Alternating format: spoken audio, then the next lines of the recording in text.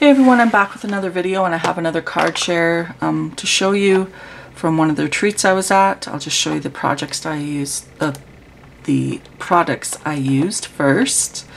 I used these uh, stamp sets Festival of Trees by Stampin' Up and this one called Endless Wishes. I don't believe those are available anymore. I used Early Espresso ink and Crumb Cake. And then I used the coordinating punch for the Festival of Trees. And I just made um, three cards using this um, those products. They're really simple. I just popped up the two trees, added a little star, added some gems to the snowflakes, and then added my sentiment. Really simple, but um, really cute cards, I thought. And they would look really nice, I think, in blues. Well, I guess I made four cards, not three.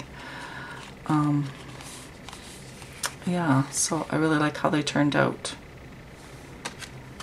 And um, yeah, that's uh, all I have to share. So hope you enjoyed the cards. Thanks everyone for watching and have an awesome day. Bye for now.